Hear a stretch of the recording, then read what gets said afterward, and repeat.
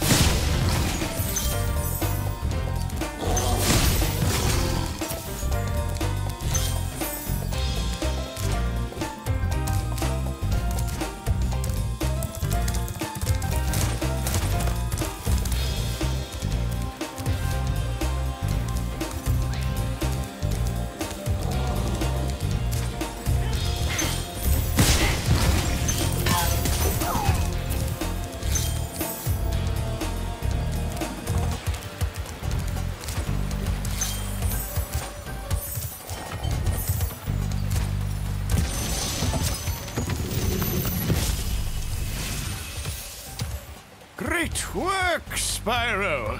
If you keep this up, you'll learn all the tricks of the Magic Crafter's world.